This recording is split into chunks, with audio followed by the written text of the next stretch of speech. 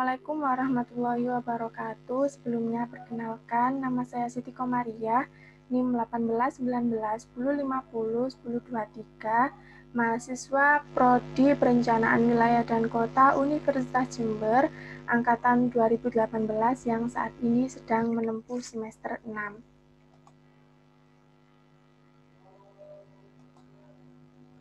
Pada video kali ini saya akan menjelaskan terkait ujian tengah semester dari mata kuliah perencanaan wilayah pesisir. Uh, adapun tugas tersebut yaitu terkait degradasi biofisik lingkungan pesisir dan strategi pengelolaannya.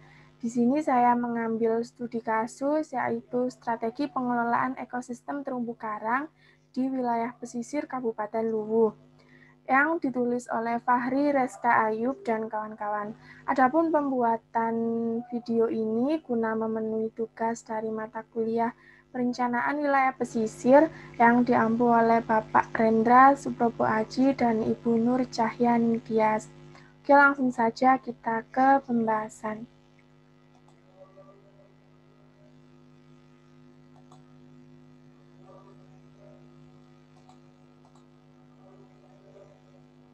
Nah, studi kasus ini dilatar belakangi oleh terumbu karang yang merupakan sumber daya terbarukan yang memiliki fungsi ekologis, ekonomis, dan budaya yang sangat penting, terutama bagi masyarakat pesisir di pulau-pulau kecil yang eh, sebagaimana mata pencariannya tergantung pada perikanan laut dangkal. Terumbu karang termasuk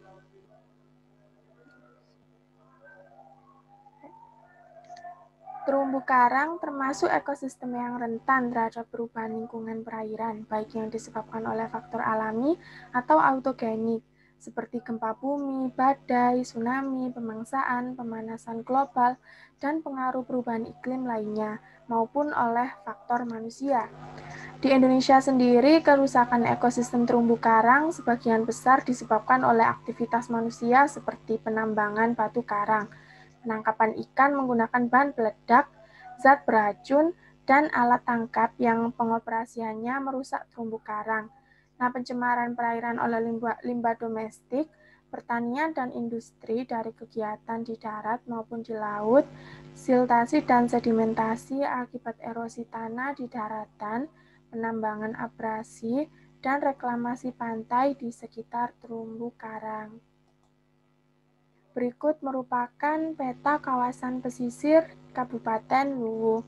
Nah, wilayah Kabupaten wilayah pesisir di Kabupaten Luwu sendiri memiliki potensi yang amat besar seperti sumber daya terumbu karang yang terdapat di Kecamatan Pesisir Burau, Wotu, dan Malili dengan panjang kurang lebih 100 117,4 km dan luas laut otonomi kurang lebih 48-50 km persegi dan luas daerah penangkapan kurang lebih 2.291,321 hektar. Potensi sumber daya perikanan tersebut termasuk sumber daya perikanan terumbu karang tidak luput dari tantangan pengelolaan secara berkelanjutan.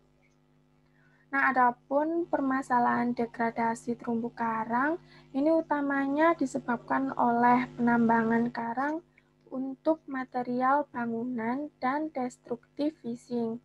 Selain itu, permasalahan tersebut merupakan pencemaran dan sedimentasi tinggi akibat suplai dari daerah aliran sungai, terutama oleh aktivitas penambangan, pertanian, maupun oleh limbah rumah tangga, khususnya suplai dari Sungai Salonoa, Sungai Angkono, Sungai Angkona, dan Sungai Malili.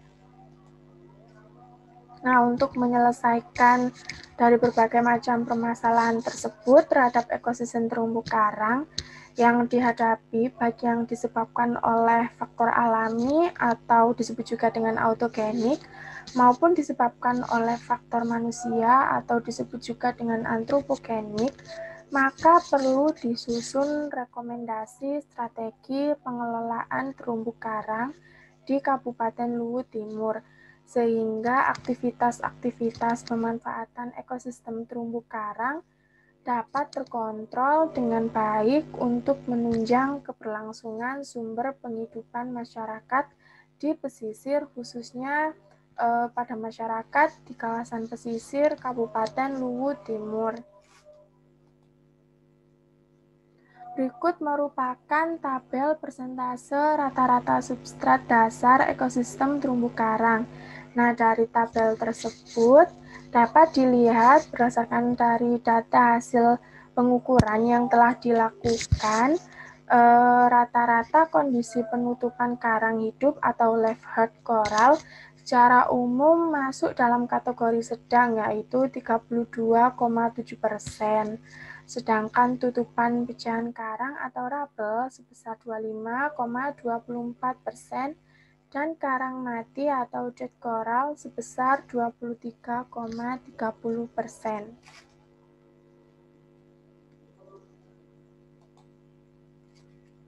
Lalu berikut merupakan hubungan antara tutupan karang hidup dengan kelimpahan individu dan jumlah spesies ikan uh, keberadaan ikan di terumbu karang memiliki keterkaitan erat dengan kondisi fisik terumbu karang tersebut. Perbedaan pada kondisi tutupan karang akan mempengaruhi densitas ikan karang, terutama yang memiliki keterkaitan kuat dengan karang hidup. Hubungan signifikan antara ikan karang dengan tutupan karang hidup di mana semakin tinggi tutupan karang hidup, maka semakin besar kelimpahan individu dan jumlah spesies ikan karang di perairan Kabupaten Luwu Timur tersebut. Nah, berikut merupakan uh, penyebab kerusakan ekosistem terumbu karang. Dapat dilihat berdasarkan data berikut, uh, salah satu uh, ada lima penyebab kerusakan ekosistem terumbu karang. Yang pertama, uh, senilai 86,6 persen kerusakan karang disebabkan oleh kegiatan destructive fishing.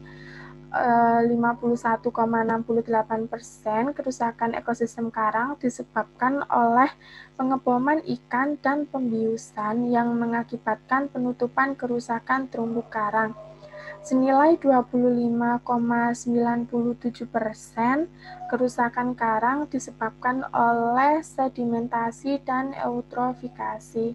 Senilai 20,57 persen kerusakan ekosistem terumbu karang disebabkan oleh pengoperasian alat tangkap, pelemparan jangkar, dan street grounding dan 1,77 persen kerusakan ekosistem terumbu karang disebabkan oleh faktor pemangsaan. Nah, dari permasalahan-permasalahan tersebut, maka dilakukan arahan strategi pengelolaan terumbu karang. Nah, untuk menentukan arahan strategi pengelolaan terumbu karang tersebut, maka digunakan analisis SWOT. Yang pertama ada kekuatan atau strength. Adapun eh, kekuatan dari ekosistem terumbu karang yang berada di Kabupaten Luwu yaitu ada enam. Yang pertama, dukungan pemerintah setempat untuk perlindungan ekosistem terumbu karang. Yang kedua, ekosistem terumbu karang masih potensial untuk dikonservasi. Yang, yang ketiga, kepatuhan masyarakat terhadap pemerintah masih tergolong cukup tinggi. Yang keempat, kesadaran masyarakat tentang pentingnya menjaga sumber daya terumbu karang yang kelima, ketersediaan sarana dan prasarana, dan yang terakhir, memiliki biodiversity atau biota ekonomis dan endangered species. Selanjutnya, kelemahan atau weakness atau W. Eh, adapun kelemahan dari ekosistem terumbu karang tersebut terdapat tujuh kelemahan. Yang pertama, akses terbuka perairan wilayah penangkapan Teluk Bone yang kedua, belum memiliki kawasan konservasi di ekosistem terumbu karang. Yang ketiga, jauhnya akses dari daratan untuk melaksanakan kegiatan pengawasan. Yang keempat, kegiatan penangkapan dan pasca penangkapan masih sederhana. Yang kelima, masyarakat belum mengetahui tentang PUU yang berkaitan langsung dengan ekosistem terumbu karang. Dan yang keenam, rendahnya kualitas sumber daya manusia aparat dalam pengelolaan ekosistem terumbu karang. Dan yang terakhir, pelimpahan kewenangan pengelolaan kelautan ke pemerintah provinsi. Selanjutnya yaitu peluang atau opportunity atau O. Adapun peluang dari Eh, pengelolaan ekosistem terumbu karang terdapat lima. Yang pertama, adanya dukungan teknologi rehabilitasi terumbu karang, adanya kesiapan stakeholder untuk menjalin kerjasama. Yang ketiga yaitu adanya peluang teknologi penangkapan ikan dengan ramah lingkungan. Yang keempat, adanya peraturan perundang-undangan terkait pengelolaan ekosistem terumbu karang. Dan yang terakhir, belum adanya kegiatan pemanfaatan terumbu karang untuk tujuan dijadikan sebagai komersial. Yang terakhir yaitu ancaman atau threat eh, atau T. Adapun ancaman dari pengelolaan ekosistem terumbu karang di Kabupaten Luwu terdapat lima ancaman. Yang pertama, adanya kegiatan yang berpotensi yang dapat menimbulkan pencemaran dan kerusakan lingkungan. Yang kedua, adanya konflik kepentingan dalam pemanfaatan wilayah perairan. Yang ketiga, degradasi terumbu karang oleh sedimentasi. Selanjutnya, setelah dilakukan analisis SWOT atau analisis SWOT pada uh, pengelolaan kawasan terumbu karang di kabupaten kawasan pesisir Kabupaten Luwu, maka didapat rencana atau strategi pengelolaan terumbu karang di wilayah pesisir Kabupaten Luwu Timur. Strategi tersebut terdapat 10 strategi. Yang pertama ada rehabilitasi habitat terumbu karang dan perlindungan endangered species. Yang kedua, rehabilitasi kawasan hutan di daerah hulu sungai. Yang ketiga yaitu modernisasi penangkapan ikan dan pemanfaatan teknologi yang tepat guna. Yang keempat, yaitu pembentukan jejaring kawasan konservasi untuk perlindungan ekosistem terumbu karang. Yang kelima, yaitu integrasi rencana zonasi wilayah pesisir dan laut dengan pemerintah provinsi. Yang keenam, yaitu pengembangan reception fasilitas dan IPAL terpadu di kawasan pesisir Kabupaten Luwu Timur. Yang ketujuh, yaitu melakukan optimalisasi sarana dan prasarana infrastruktur pengawasan ekosistem terumbu karang. Yang kedelapan yaitu pemberdayaan Pokmaswas untuk menunjang intensifikasi pengawasan. Yang kesembilan yaitu peningkatan sumber daya manusia aparat melalui diklat teknis pengawasan dan pengelolaan ekosistem terumbu karang. Dan yang terakhir yaitu pengembangan pariwisata dan jasa lingkungan, di mana untuk mendukung peningkatan ekosistem masyarakat.